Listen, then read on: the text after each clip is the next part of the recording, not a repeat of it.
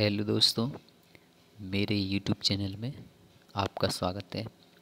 अगर ये वीडियो आपको अच्छी लगी तो मेरे चैनल को लाइक, शेयर एंड सब्सक्राइब ज़रूर करें और बेल आइकन को दबाना न भूलें।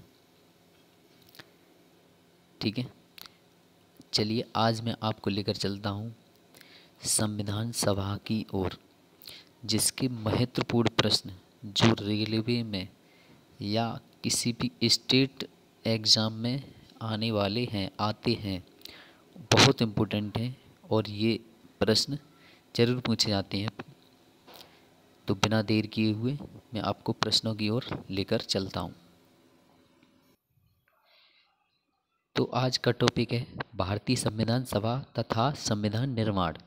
इससे संबंधित महत्वपूर्ण प्रश्न आज मैं आपको कराऊँगा। तो कृपया सभी एंड तक वीडियो में बने रहें।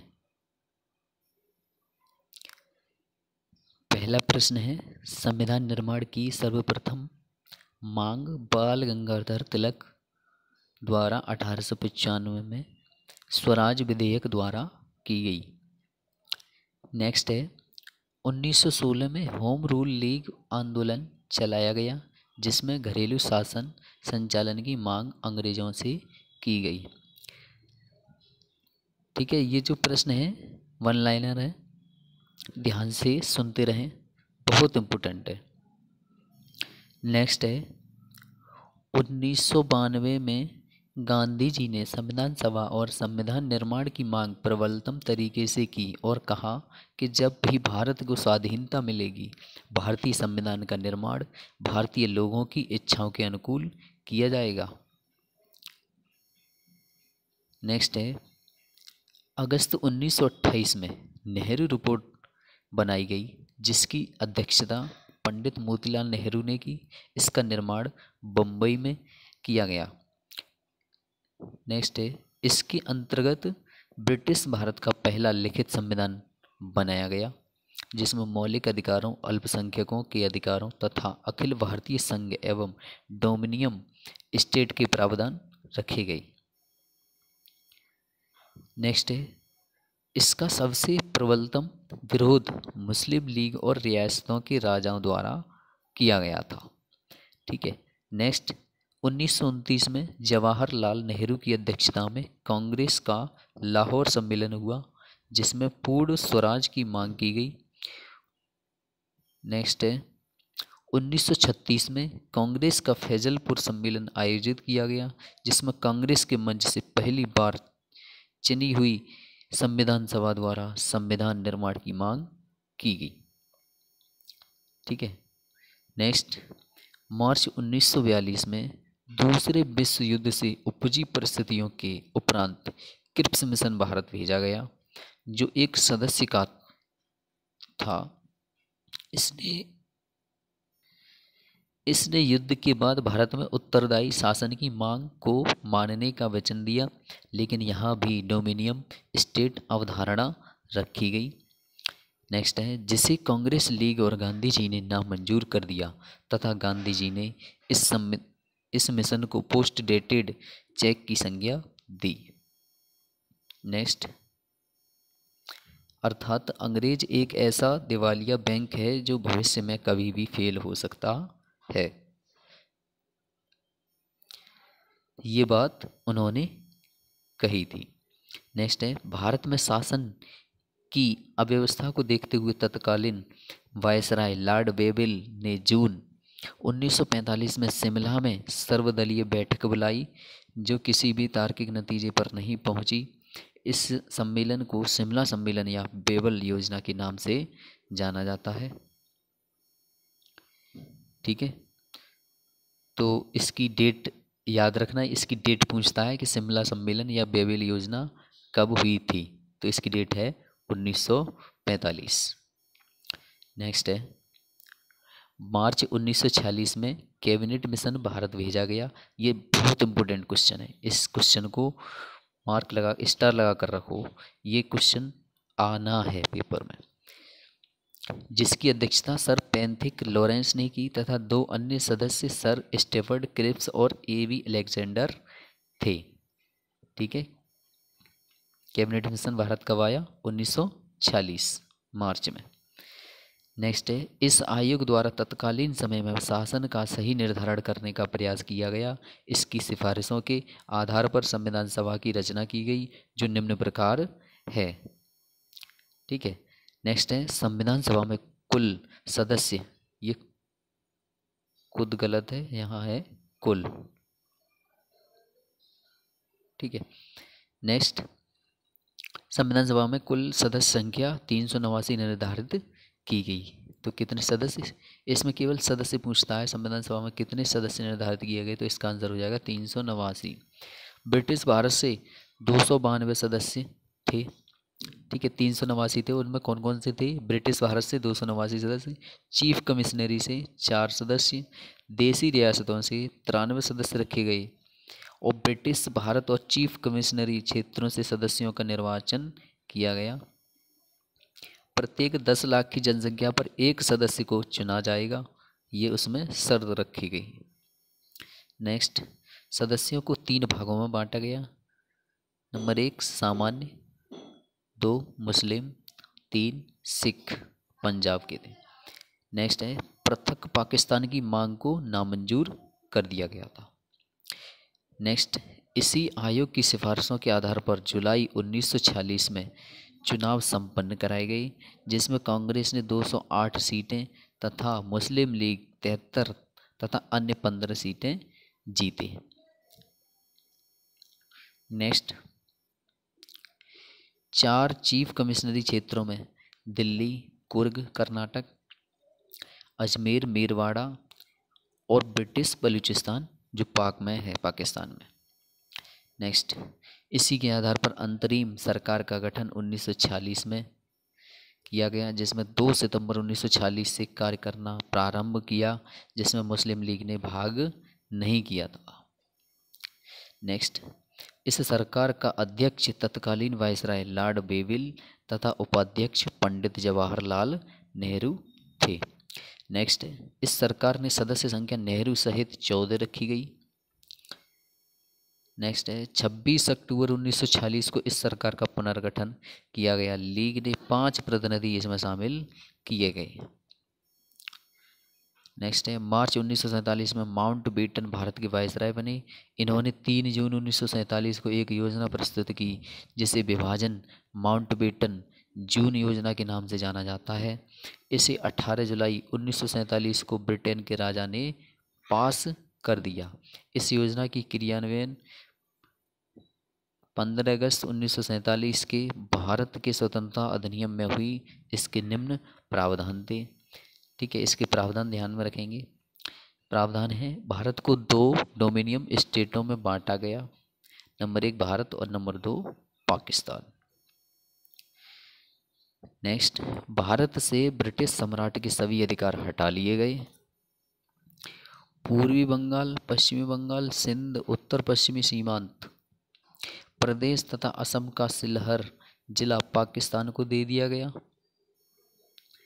भारत का शासन जब तक संविधान का निर्माण पूर्णतः न हो 1935 के भारत शासन अधिनियम से चलाया, चलाना तय किया गया।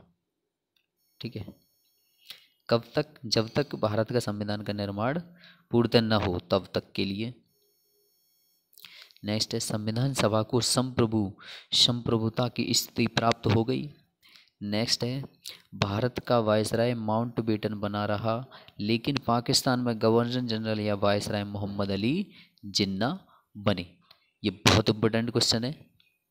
इसे ध्यान रखना। नेक्स्ट है, विभाजन के बाद संविधान सभा का पुनर्गठन किया गया। 9 दिसंबर 1946 को संविधान सभा की पहली बैठक हुई, जिसमें अस्थायी अध्यक्ष सच्चिदानंद सिन्हा को बनाया गया था। ये बहुत बहुत very very most important question है कि 9 दिसंबर 1940 को संविधान सभा की पहली बैठक हुई थी और इसके अध्यक्ष किसे बनाया गया? सच्चिदानंद सिन्हा को। नेक्स्ट है, दूसरी बैठक 11 दिसंबर 1940 को हुई, जिसमें स्थायी अध्यक्ष डॉक्टर राजेंद्र प्रसाद को बनाया गया। इसी बैठक में उपाध्यक्ष एच सी मुखर्जी थे तथा संवैधानिक सलाहकार बी एन राव थे। ठीक है ये भी बहुत इंपॉर्टेंट क्वेश्चन है कि संवैधानिक सलाहकार कौन थे? तो बी एन राव। नेक्स्ट है, तीसरी बैठक तेरह दिसंबर 1946 को बुलाई गई, जिसमें नेहरू जी द्वारा उद्देश्य प्रस्ताव पेश किया गया, जिसे संविधान सभा ने 22 जनवरी उन्नीस को अपना लिया। इन्हीं उद्देश्य प्रस्तावों के आधार पर भारतीय संविधान की प्रस्तावना निर्मित की गई। नेक्स्ट है, संविधान सभा द्वारा संविधान निर्माण हेतु कुछ समितियों का गठन किया गया, जो निम्न प्रकार थी। नंबर वन समिति है, संघ शक्त समिति। नंबर दो संविधान समिति। नंबर तीन राज्यों के लिए समिति। तो संघ शक्ति समिति के अध्यक्ष जवाहरलाल नेहरू, संविधान समिति के जवाहरलाल नेहरू, राज्यों के लिए समिति जवाहरलाल नेहरू। ठीक है, नेक्स्ट समितियाँ हैं। राज्यों तथा रियासतों से परामर्श समिति इसके सरदार पटेल, मौलिक अधिकार एवं अल्पसंख्यक समिति के सरदार पटेल, प्रांतीय संविधान समिति के सरदार पटेल, मौलिक अधिकारों पर उप समिति कृपलानी, नेक्स्ट है झंडा समिति के अध्यक्ष जे वी कृपलानी, नेक्स्ट है प्रक्रिया नियम समिति संचालन राजेंद्र प्रसाद नेक्स्ट है, सर्वोच्च न्यायालय से संबंधित समिति एस एच वरदाचरियन। नेक्स्ट है, प्रारूप संविधान का परीक्षण करने वाली समिति, इसके हैं अल्लादी कृष्णा स्वामी अय्यर। नेक्स्ट है, प्रारूप समिति ड्राफ्टिंग मसौदा समिति, डॉक्टर भीमराव अंबेडकर नेक्स्ट है संविधान समीक्षा आयोग एम एन बैक्टोचेलिया। प्रारूप समिति के सात सदस्य निम्न थे। देखिए, ये वाले, ऊपर वाले जो सदस्य हैं, ये सभी बहुत इम्पोर्टेंट हैं प्रश्नों में। मतलब ज़्यादातर प्रश्न पूछे जाते हैं एग्जामों में बहुत पूछे जाते हैं। और ये भी। ठीक है नेक्स्ट प्रारूप समिति के सात सदस्य निम्न थे। नंबर एक, डॉक्टर बी आर अंबेडकर। ठीक है। नंबर दो, अल्लादी कृष्ण स्वामी अय्यर। नंबर तीन, एन गोपाल स्वामी अयंगर नंबर चार कन्हैया लाल मणिकलाल मुंशी। नंबर पाँच, एन माधवन राव, यह भी एल मित्तल के स्थान पर आए थे ये। ठीक है। नंबर छः, टी टी कृष्णामाचारी, ये डी पी खेतान के स्थान पर आए थे। देखिए, ये दोनों जिनके स्थान पर ये आए हैं, ये दोनों व्यक्ति एक्सपायर हो चुके थे।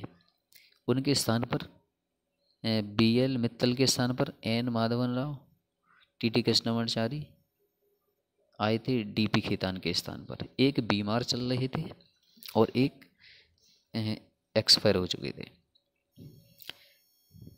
नंबर सात है मोहम्मद सादुल्ला नेक्स्ट है प्रारूप समिति उनतीस अगस्त उन्नीस सौ सैंतालीस को गठित की गई। ये डेट पूछ लेता है, ध्यान रखना। नेक्स्ट है संविधान सभा में पहली बैठक के अंतर्गत 207 सदस्यों ने भाग लिया था। सीधा क्वेश्चन पूछता है, कितने सदस्यों ने भाग लिया? तो 207 सदस्यों ने। संविधान संविधान सभा में कुल पंद्रह महिलाओं ने भाग लिया तथा आठ महिलाओं ने संविधान पर हस्ताक्षर किए थे। देखिए, भाग तो पंद्रह महिलाओं ने लिया, लेकिन हस्ताक्षर आठ महिलाओं ने किए थे। नेक्स्ट पंद्रह अगस्त उन्नीस सौ सैंतालीस को भारत विभाजन उपरांत संविधान सभा में सदस्य संख्या घटकर तीन सौ चौबीस रह गई। नेक्स्ट, अक्टूबर उन्नीस को संविधान सभा में सदस्य संख्या घटकर दो सौ निन्यानवे रह गई। संविधान सभा द्वारा संविधान के कुल तीन वाचन संपन्न किए गए। नंबर एक अंतिम वाचन सत्रह नवंबर उन्नीस सौ उनचास से छब्बीस नवंबर उन्नीस सौ उनचास तक।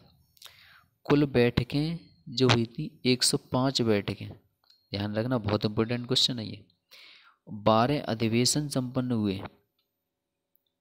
भारत विभाजन से पूर्व चार अधिवेशन संपन्न किए गए थे। विभाजन से पहले ही चार अधिवेशन संपन्न कर लिए गए थे। सातवें अधिवेशन में महात्मा गांधी को श्रद्धांजलि अर्पित की गई थी। मई उन्नीस सौ उनचास में भारत ने राष्ट्रमंडल की सदस्यता ग्रहण करना सुनिश्चित किया। भारतीय संविधान समिति और समायोजन के आधार पर बनाया गया है। भारतीय जो संविधान है, वो किसके आधार पर है? सहमति मतलब सभी की सहमति है और समायोजन भी है सबका। नेक्स्ट है, भारतीय संविधान सभा ने दो प्रकार से कार्य किया। नंबर एक, जब संविधान निर्माण का कार्य किया जाता तो इसकी अध्यक्षता राजेंद्र प्रसाद करते तथा जब संविधान सभा विधायिका के रूप में कार्य करती है तो अध्यक्षता गणेश वसुदेव मावलंकर द्वारा की जाती है। ये वही हैं जीवी मावलंकर। ठीक है नेक्स्ट है। संविधान सभा की अंतिम बैठक संविधान निर्माण हेतु 24 नवंबर उन्नीस सौ उनचास को आयोजित की गई। इस दिन दो सौ चौरासी लोगों ने संविधान पर हस्ताक्षर किए। बहुत बहुत इंपॉर्टेंट क्वेश्चन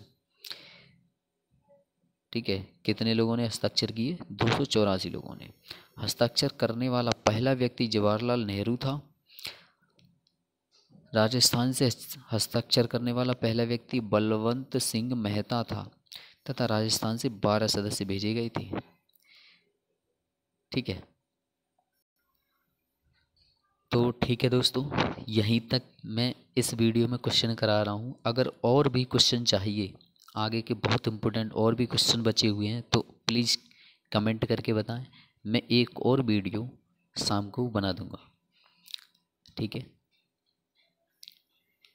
लेकिन वीडियो को लाइक शेयर और सब्सक्राइब ज़रूर करें। इससे आगे के क्वेश्चन बहुत सारे हैं। अनुच्छेद कितने थे? अनुसूचियाँ कितनी थी? बहुत सारे हैं। ठीक है? बहुत इंपॉर्टेंट क्वेश्चन और रह भी गए हैं, जो आने वाले एग्ज़ाम आते हैं। तो कृपया कमेंट करके बताएँ, मैं आपको वीडियो प्रोवाइड करा दूँगा। और कमेंट करके बताएँ कि ये वीडियो आपको कैसी लगी। ठीक है? Bye bye